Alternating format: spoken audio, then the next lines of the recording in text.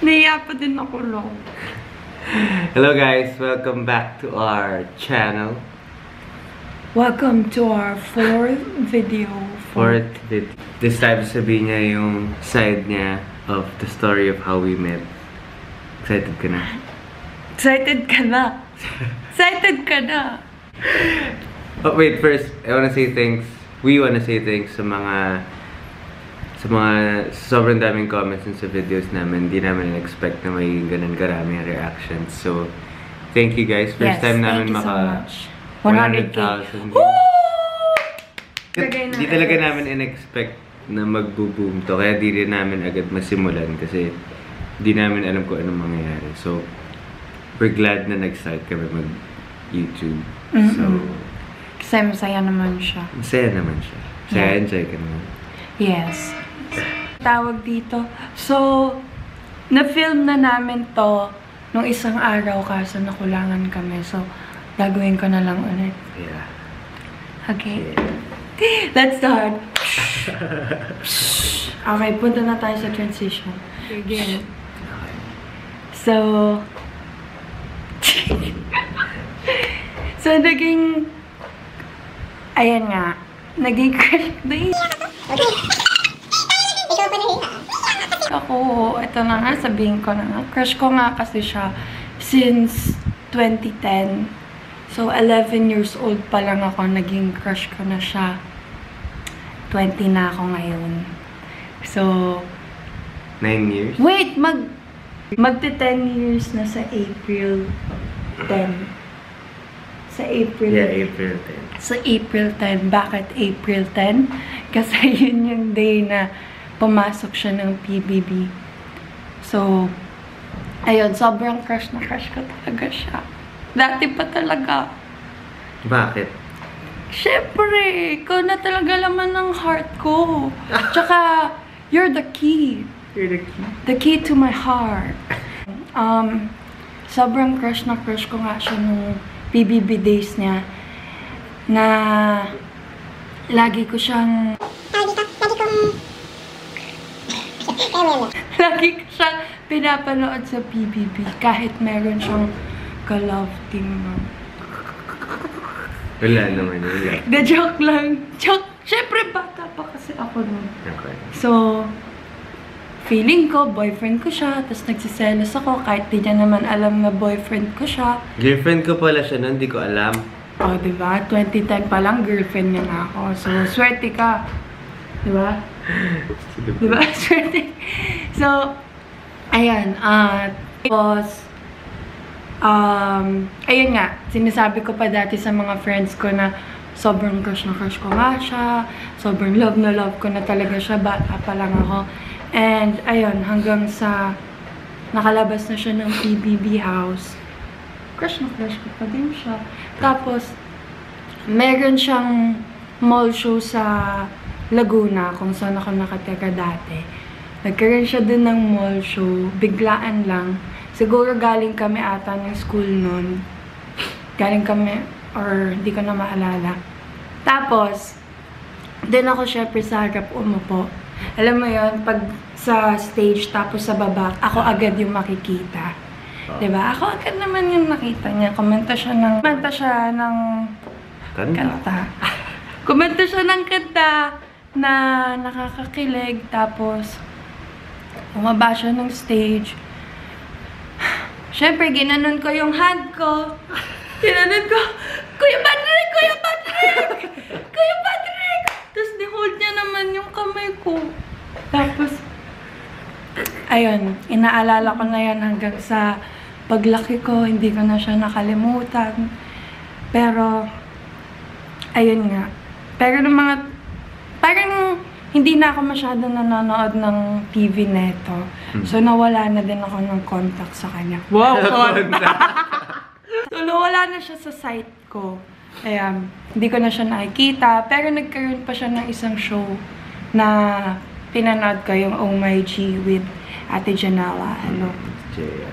Yes. Tapos parang doon na yung huli kong ano, napanood na video. Ay, na Naging video. crush mo ba ako ulit? Oo. Talaga? Crush kita na, no? Cute, Talaga? cute. Ano? Cute, cute. Cute, cute baby boy. Tapos, Tapos, ayun, um, after ng Oh My G, nawala na naman ako, nawala na naman ako ng contact sa kanya.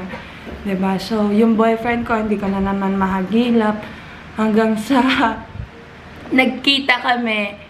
Oh, first kita namin yung nandun nga kami sa concert. Pero di niya din, din ako maalala doon. concert.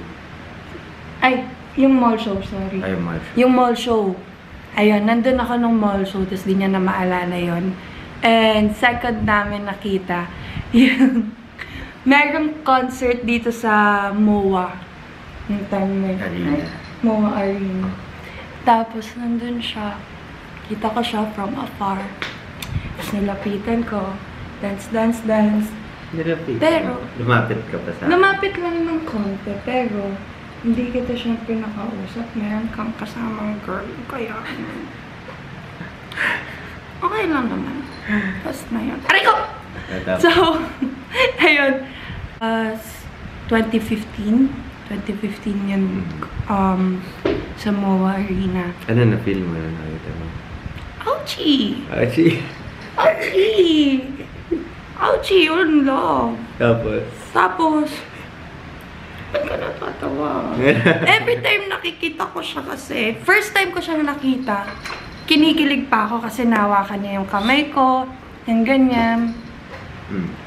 Pero nung dalawang beses ko siya nakita sa buong buhay ko, medyo ouchy kasi dalawang beses ko siya nakita may kasama girl.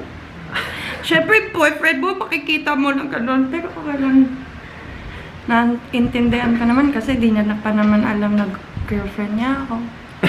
so, so, ayun. Na, mga 2017 ko na siya next na nakita. Nakita ko siya sa dito na, sa Moratona. Nakita ko siya dito. Siyempre, when... Kaya naman, ano, pili? Pero baka friend mo lang yung friend. Marami naman akong friends. Oo, sa bagay. Mm. Tapos, Nagkukiri ako eh. okay. Okay, so after nung, um, tawag dito, matagal na kami hindi ulit nagkita. Hanggang sa nagkaroon na din ako ng dinidate nun. Tapos, nag-break kami ng dinidate ko. And, dun, na, dun ko na na papansin na nagsistart na nga akong isustalk. Ano na, Nagsistart- feel mo? Nagsistart na siya. Stalk ako. Siyempre, nung first time ko nakita na finalo niya ako, syempre, ooh! Yung crush ko dati. Ako na yung crush ngayon, no? Napapansin pa sa akin. Ano Nilalike. Nilalike. Hindi ko pa nga nakikita yung message mo. Siyempre, feeling ko, ganda-ganda ko nun.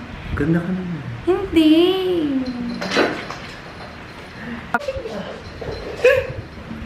Okay, anyway. So, ayun nga. Then, minessage niya na ako. Una pang nakakita ng message niya, yung manager ko, si Ate Jade. Tapos nakita niya, sabi niya sa akin, bakit hindi mo replyan to? Siya yung si BBB, di ba? Tapos sabi ko sa kanila, oo, crush ko yan dati. Kaso mukhang bad boy na eh.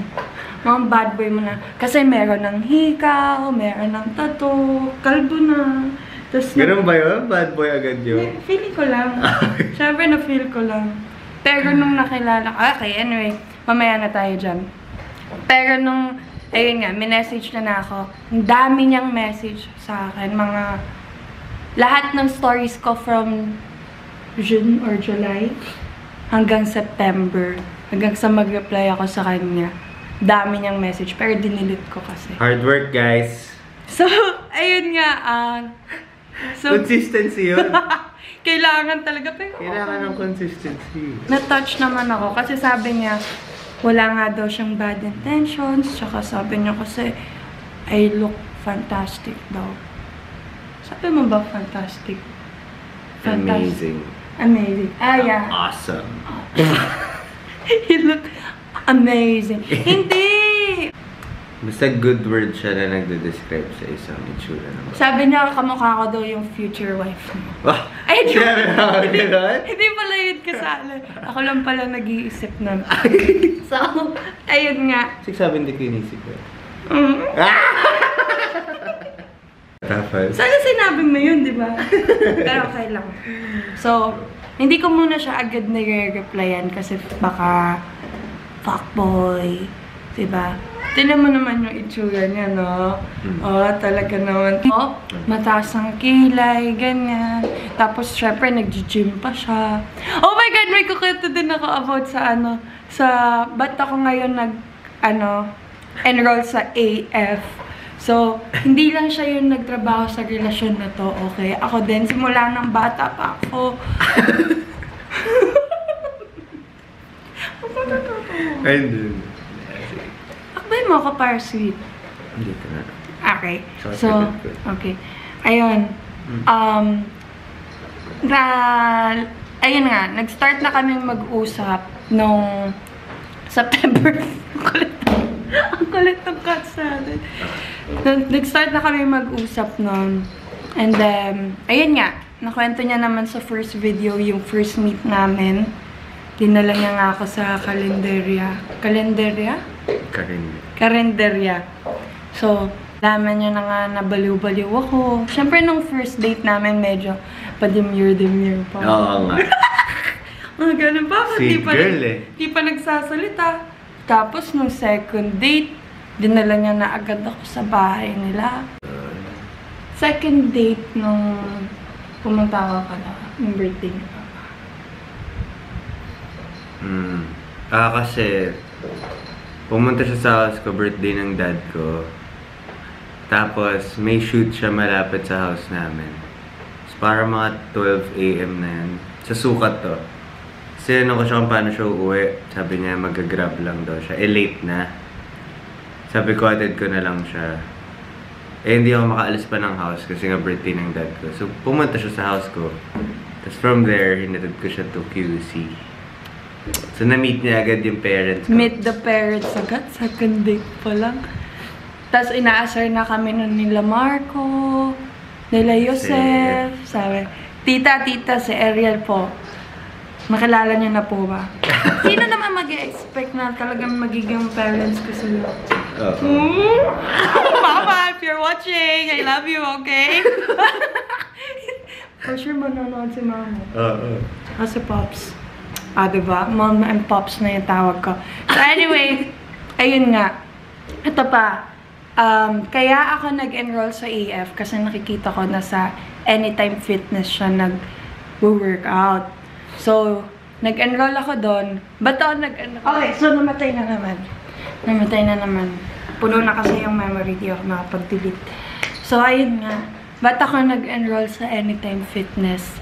Kasi, gusto ko, pag nag-enroll ako doon, makasabay ko siya mag-workout. Kung ang gagawin ko pa, magvi-video lang ako, magsa-story lang ako na nag-workout na ako doon. Tapos, aantayin ko siya mag-message na, Uy, anytime fitness ka na din pala. Workout tayo minsan. Aba, totoo nga! Totoo nga nangyari. Nag-work naman. Ang galing ko talaga.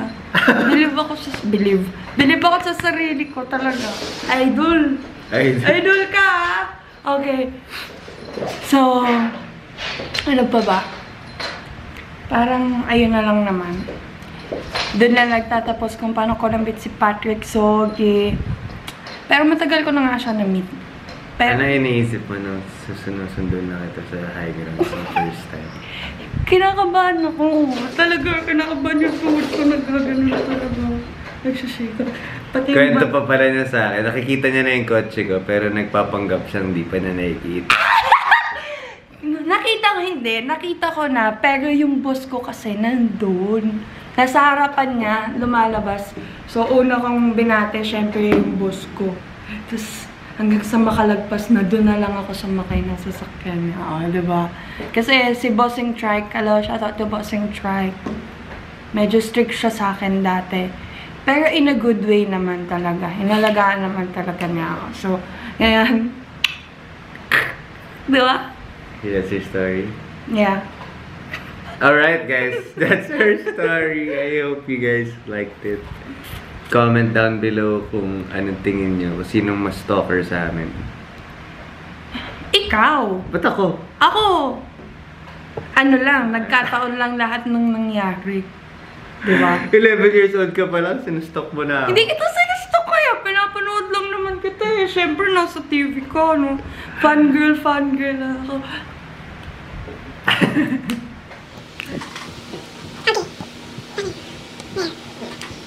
So that's it guys, that's our part of the story. We hope you liked the video.